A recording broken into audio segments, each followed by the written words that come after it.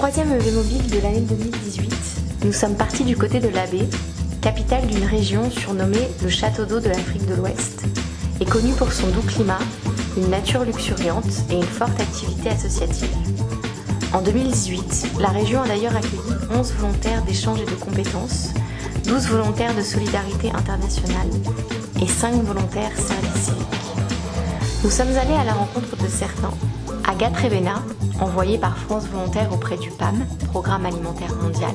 Marion Curcio, envoyée par le SCD auprès de WCF. Et Léna et Charlotte, deux services civiques envoyés auprès de la CAJAC à l'ENUMA.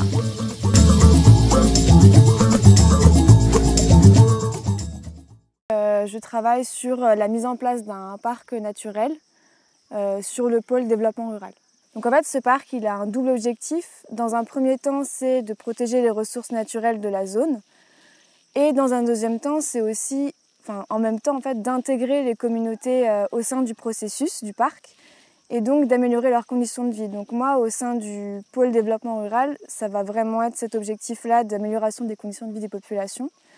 Donc ça passe par euh, l'amélioration des techniques de production agricole, la diversification des cultures.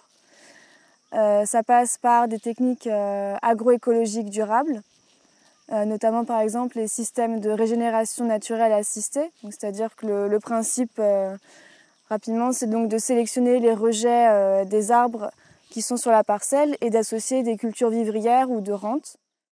Moi, ma mission au sein du PAM, c'est de gérer les projets pour la région de la baie euh, au niveau de euh, la nutrition. Donc on a plusieurs volets, plusieurs projets, et donc je suis chargée de la mise en œuvre. Alors, on a, en ce moment, on a trois projets autour de la nutrition.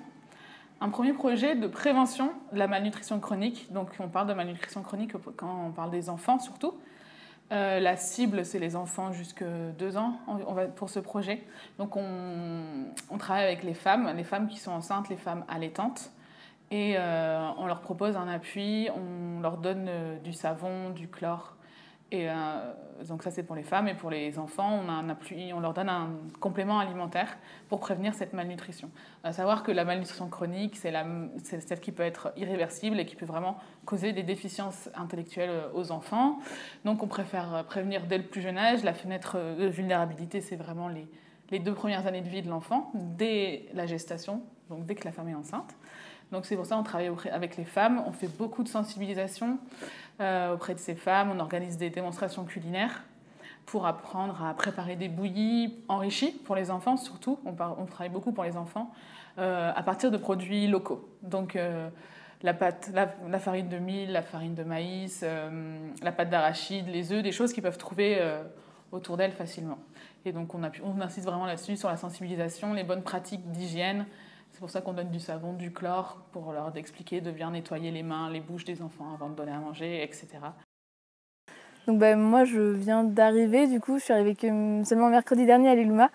Mais on, va travailler avec euh, la CAJAC, qui est un regroupement d'associations de quartiers de l'Eluma, en fait, principalement sur les domaines de sensibilisation au respect de l'environnement et euh, de, création de projets un peu socioculturels auprès des enfants euh, qui habitent à l'Eluma. Totalement. Et de plus, on a aussi euh, des objectifs euh, comme développer un peu mieux la CAJAC, notamment auprès de l'organisation, choses comme ça. Et euh, voilà, le domaine d'activité reboisement, comme ce qui a été fait, assainissement, sensibilisation. ce qui m'a poussé à partir en, service civique, ça a été le goût pour l'associatif et le fait que j'étais un peu perdue par rapport à mon parcours scolaire. Euh, voilà, après c'était la découverte, l'aventure, faire grandir l'esprit. Alors moi, ce qui m'a poussé à partir, c'est que bah, j'ai toujours aimé euh, découvrir de nouvelles choses, rencontrer des gens.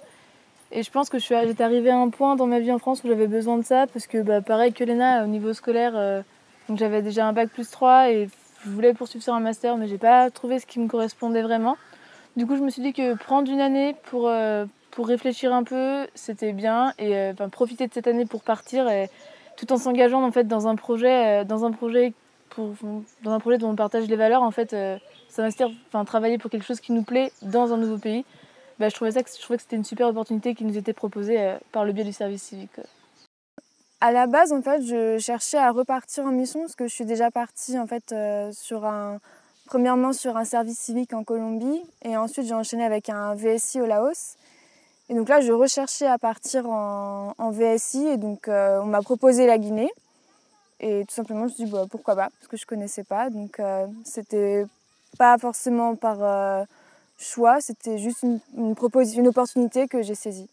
Ensuite, le projet de la WCF m'intéresse vraiment parce qu'on est quand même dans un gros challenge puisqu'on est dans un parc naturel avec 262 villages à l'intérieur.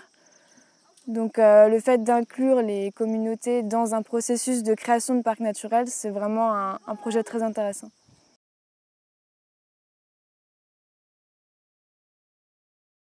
Totalement, je vais passer 3 à 4 mois en France, euh, récupérer de l'argent et investir ici. On verra dans un premier temps, je vais rester un peu. Et puis quand j'en aurai marre, peut-être... Euh, voilà, l'avantage en France, c'est qu'on peut reprendre ses études à n'importe quel âge. Donc je vais profiter de cette chance. J'ai découvert l'indépendance et la liberté. Et là, c'est mes dieux actuellement, donc je vais continuer à atteindre cet objectif. Et, euh, voilà, être plus libre dans ma tête, ça m'a fait grandir, quoi. Hum, j'ai envie de terminer tranquillement ma mission, euh, découvrir davantage la Guinée, vraiment pouvoir visiter un peu. Et puis, hum, je ne suis pas contre l'idée de continuer en volontariat, c'est une formule qui est vraiment enrichissante. Et puis, euh, oui, sans le volontariat, moi, j'aurais jamais pu intégrer euh, le système des Nations Unies, donc c'est vraiment, euh, c'est vraiment génial. Et, après, pourquoi pas ouais, aller vers d'autres contrées, quoi, découvrir d'autres choses. Genre en Afrique, ou pas d'ailleurs, ça peut être en Asie, en Amérique latine. Il n'y a pas de, a pas de règle.